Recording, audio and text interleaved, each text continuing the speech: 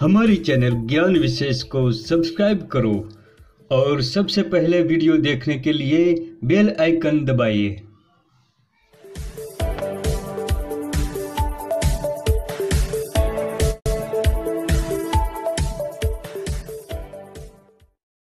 दोस्तों, आज मैं आपको पुदीना के फ़ायदे के बारे में बताऊँगा। पुदीना तुलसी की प्रजाति का एक पौधा होता है, जो बहुत छोटा और खुशबूदार होता है। ज़्यादातर भोजन और चाय का जायका बढ़ाने के लिए पुदीना का उपयोग किया जाता है। दोस्तों, इस पौधे का अंग्रेज़ी नाम मिंट और वैज्ञानिक नाम मेंथा है। ये पौधा अनेक प्रकार की बीमारियों में उपयोग में लिया जाता है।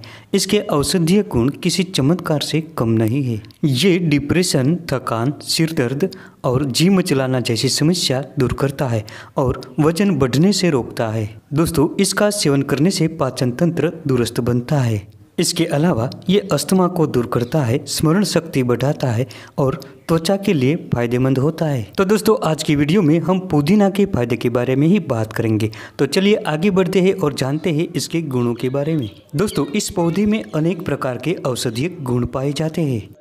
दोस्तों, ये पौधा एंटीऑक्सीडेंट से भरपूर होता है और उचित मात्रा में विटामिन ए पाया जाता है। इसके अलावा इसमें फोलेट, मैंगनीज, आयरन और फाइबर पाया जाता है। जो सेहत के लिए काफ़ी महत्वपूर्ण होता है। इसके पत्तों को चबाने से और इसकी चाय बनाकर पीने से सांसों की बदबू दूर होती है। दोस्तों, पुदीना खुशबूदार होता है। इसके पत्तों की चाय पीने से भोजन के प्रति अरुचि दूर होती है और भूख बढ़ती है तथा पाचन शक्ति मज़बूत बनती है। दोस्तों, पुदीना पेट की कई बीमारियों को ठीक करने की एक कारगर औषधि है। पेट से जुड़ी समस्याओं को दूर करने के लिए प्रतिदिन पुदीना का सेवन करना चाहिए।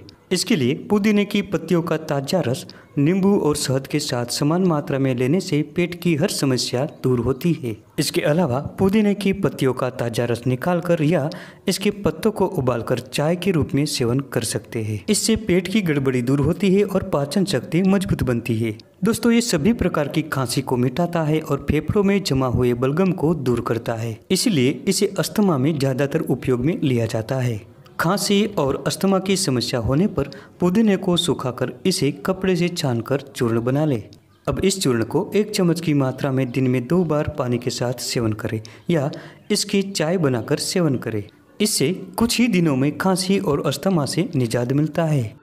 दोस्तों, ये दोनों प्रकार के ब्लड प्रेशर को नियंत्रित करता है। ब्लड प्रेशर की समस्या होने पर पुदीने की ताजी पत्तों की चटनी बनाकर या इसका रस निकालकर सेंधा नमक, काली मिर्च और किशमिश डालकर इसका सेवन करें। दोस्तों, पुदीना की पत्तियों की चाय बनाकर रोज़ाना सेवन करने से स्मरण शक्ति काफ़ी तेज बनती है।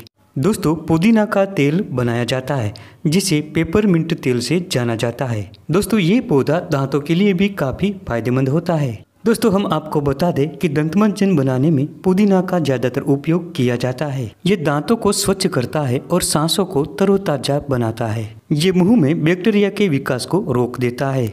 दोस्तों, ये महिलाओं के लिए भी काफ़ी फ़ायदेमंद होता है। पुदीना की पत्तियों की सूखी चूर्ण को शहद के साथ समान मात्रा में मिलाकर दिन में दो बार पीने से महिलाओं में मासिक धर्म नियमित हो जाता है। दोस्तों, पुदीने की ताजी पत्तियों का रस निकालकर, नींबू का रस मिलाकर सेवन करने से हिचकी बंद हो जाती है। दोस्तों, इसकी ताजी पत्तियों का रस निकालकर आधा कप की मात्रा में हर दो घंटे के अंतराल में पीने से उल्टी और दस्त बंद हो जाता है और डिहाइड्रेशन मिटता है।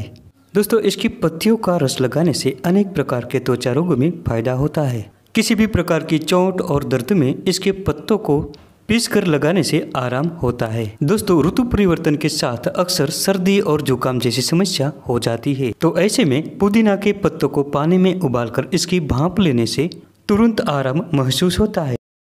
तो दोस्तों, ये थी आज की महत्वपूर्ण जानकारी। वीडियो पसंद आने पर लाइक करें, शेयर करें और चैनल को सब्सक्राइब ज़रूर करें।